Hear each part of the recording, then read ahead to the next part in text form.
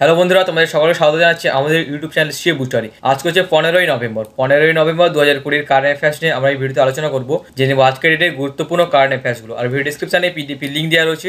সেখানে তোমরা খুব সহজেই পিডিএফ ডাউনলোড করতে পারবে সম্পূর্ণ বিনামূল্যে। আর তোমাদের জানিয়ে রাখব ভিডিও প্রথম থেকে শেষ পর্যন্ত দেখার চেষ্টা করো। আজকে কিন্তু খুবই গুরুত্বপূর্ণ কারেন্ট অ্যাফেয়ার্স রয়েছে। আর এখনও পর্যন্ত যদি আমাদের চ্যানেল সাবস্ক্রাইব করেন তাহলে অবশ্যই চ্যানেল সাবস্ক্রাইব করো, তার সাথে বেল আইকনে ক্লিক করো। আসলে প্রথম প্রশ্নটি আমাদের কাছে রয়েছে, সেটি হচ্ছে, কোন দেশ বিশ্বের প্রথম সিক্স জি স্যাটেলাইট লঞ্চ করল। সম্প্রতি কোন দেশ বিশ্বের প্রথম সিক্স জি স্যাটেলাইট লঞ্চ করেছে? এক্ষেত্রে উত্তরটি হবে China. Option B is the right answer সম্প্রতি চীন এই সিক্স জি স্যাটেলাইট লঞ্চ করেছে ছয়ই নভেম্বর দু হাজার কুড়িতে এবং এর সাথে চীন ওই রকেটের মাধ্যমে আরও বারোটি স্যাটেলাইট লঞ্চ করেছে। আর এক্ষেত্রে জানা যাচ্ছে এই সিক্স জি স্যাটেলাইট এর পরিষেবা কিন্তু ফাইভ জি থেকে আরও একশো গুণ বেশি হবে। নেক্সট কোশ্চেন সম্প্রতি নিম্নের কে রাজস্থানের জয়পুরে ন্যাশনাল ইনস্টিটিউট অফ আয়ুর্বেদায়ের উদ্বোধন করলেন। জয়পুরে ন্যাশনাল ইনস্টিটিউট অফ আয়ুর্বেদের উদ্বোধন করলেন। নিম্নের কে, এক্ষেত্রে উত্তরটি হবে Narendra Modi. Option C is the right answer. সম্প্রতি প্রাইম মিনিস্টার নরেন্দ্র মোদী আমাদের জাতীয় আয়ুর্বেদা দিবস, অর্থাৎ তেরোই নভেম্বরে রাজস্থানের জয়পুরে ন্যাশনাল ইনস্টিটিউট অফ আয়ুর্বেদার উদ্বোধন করেছেন। আর এক্ষেত্রে দু হাজার কুড়িতে ন্যাশনাল আয়ুর্বেদা ডে কয়ে পালন করা হয়েছিল? তেরোই নভেম্বরে। Next question. সম্প্রতি কে বিহারের চিফ মিনিস্টার হিসেবে নির্বাচিত হলেন। সম্প্রতি কে বিহারের মুখ্যমন্ত্রী হিসেবে নির্বাচিত হলেন। এক্ষেত্রে উত্তরটি হবে Nitish Kumar. Option D is the right answer অনেক ছবি আমি এখানে দিয়েছি। সম্প্রতি নীতিশ কুমার বিহারের চিফ মিনিস্টার হিসেবে নিযুক্ত হলেন এবং উনি বিহারের বাইশতম চিফ মিনিস্টার হিসেবে নিযুক্ত হয়েছেন। বিহারের তাহলে গভর্নর কে রয়েছেন বর্তমানে? ফাগু চৌহান। তাহলে চিফ মিনিস্টারকে সিএম হচ্ছেন নীতিশ কুমার এবং ক্যাপিটাল হচ্ছে বিহারের পাটনা।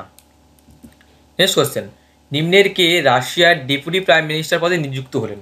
সম্প্রতি কে রাশিয়ার ডেপুটি প্রাইম মিনিস্টার হিসেবে নিযুক্ত হলেন, এক্ষেত্রে উত্তরটি হবে Alexander Novak. Option B is the right answer. ওনার একটু ছবিও আমি এখানে দিয়েছি। ডিটেলসে যাব। তাহলে রাশিয়ার বর্তমান প্রেসিডেন্ট কে রয়েছেন? ভ্লাদিমির পুতিন কারেন্সি কি? রাশিয়ান রুবেল এবং বর্তমান প্রাইম মিনিস্টার কে রয়েছেন? মিখাইল মিসুতিন আর তোমার জন্য এক্ষেত্রে প্রশ্ন রয়েছে, সেটি হচ্ছে রাশিয়ার ক্যাপিটাল বা রাজধানী কি রয়েছে? আমাকে কমেন্ট করে জানাবে। রাশিয়ার রাজধানীর নাম আমাকে কমেন্ট করে জানাবে। নেক্সট কোয়েশ্চেন নিম্নের কোন শহরে সেকেন্ড ওয়ার্ল্ড হেলথ এক্সপো অনুষ্ঠিত হলো? সম্প্রতি কোন শহরে দ্বিতীয় ওয়ার্ল্ড হেলথ এক্সপো অনুষ্ঠিত হয়েছিল? এক্ষেত্রে উত্তরটি হবে Wuhan. Option C is the right answer. সম্প্রতি চীনের উহান প্রদেশে সেকেন্ড ওয়ার্ল্ড হেলথ এক্সপো অনুষ্ঠিত হয়েছিল এগারোই নভেম্বর দু হাজার কুড়িতে। চীনের ক্যাপিটাল কি রয়েছে? বেজিং লার্জেস্ট সিটি কি চীনের? সাংহাই। এবং চীনের কারেন্সি কি রয়েছে? রেন বিনবি। আর বর্তমান প্রেসিডেন্ট কে রয়েছেন চীনের Xi Jinping. Next question ITTF women's world কাপে কে খেতাব জয়লাভ করলেন? সম্প্রতি কে আইটিটিএফ ওমেন্স ওয়ার্ল্ড কাপে খেতাব জয়লাভ করেছেন? এক্ষেত্রে উত্তরটি হবে Chen Meng option B is the right answer. ছবি আমি এখানে দিয়েছি। সম্প্রতি চাইনিজ টেবিল টেনিস প্লেয়ার চিন ম্যাং আইটিটিএফ ওমেন্স ওয়ার্ল্ড কাপে খেতাব জয়লাভ করেছেন। আর আইটিটিএফ এর সম্পূর্ণ ফর্ম কি? International table tennis federation. International table tennis federation. Headquarter কোথা রয়েছে? এর হেডকোয়ার্টার রয়েছে সুইজারল্যান্ডের লুনাসে। বর্তমান প্রেসিডেন্ট কে রয়েছেন? ইন্টারন্যাশনাল টেবিল টেনিস ফেডারেশনের বর্তমান প্রেসিডেন্ট রয়েছেন থমাস ওয়েকার্ড আর বর্তমান সিও কে রয়েছেন? স্টিভ টেইনটন। আর কবে প্রতিষ্ঠিত হয়? ইন্টারন্যাশনাল টেবিল টেনিস ফেডারেশন প্রতিষ্ঠিত হয় উনিশশো ছাব্বিশে। নেক্সট কোশ্চেন কোন শহরে ইন্টারন্যাশনাল বার্ড ফেস্টিভ্যাল দু হাজার একুশ আয়োজিত হতে চলেছে? দু হাজার একুশ সালে ইন্টারন্যাশনাল বার্ড ফেস্টিভ্যাল কোন শহরে আয়োজিত হবে? এক্ষেত্রে উত্তরটি হবে Gorakhpur. Option C is the right answer সম্প্রতি উত্তরপ্রদেশের গোরাখপুর বা গোরক্ষপুর শহরে ইন্টারন্যাশনাল বার্ড ফেস্টিভ্যাল দু হাজার একুশ অনুষ্ঠিত চলেছে। ফেব্রুয়ারি মাসে। ওকে আর উত্তরপ্রদেশের ক্যাপিটাল কি রয়েছে? লখনৌ গভর্নর কে আনন্দিবেন প্যাটেল এবং বর্তমান সিএম কে উত্তরপ্রদেশের যোগী আদিত্যনাথ নেক্সট কোশ্চেন সম্প্রতি প্রয়াত হলেন সৌমিত্র চট্টোপাধ্যায়। উনি কি জন্য প্রসিদ্ধ ছিলেন? সৌমিত্র চট্টোপাধ্যায় কি জন্য বিখ্যাত ছিলেন? এক্ষেত্রে উত্তরটি হবে actor. Option A is the right answer সম্প্রতি প্রয়াত হলেন সৌমিত্র চট্টোপাধ্যায়। যিনি একজন বিখ্যাত অভিনেতা ছিলেন। আর সম্প্রতি উনি পনেরোই নভেম্বর দু হাজার কুড়িতে করোনায় আক্রান্ত হয়ে পঁচাশি বছর বয়সে প্রয়াত হয়েছেন। অকুপেশন কি ছিল ওনার? উনি না কেবল অ্যাক্টার ছিলেন, উনি একজন বিখ্যাত লেখক writer playwright play director এবং পেন্টার ছিলেন। অ্যাওয়ার্ডস উনি কোন কোন অ্যাওয়ার্ডস পেয়েছিলেন?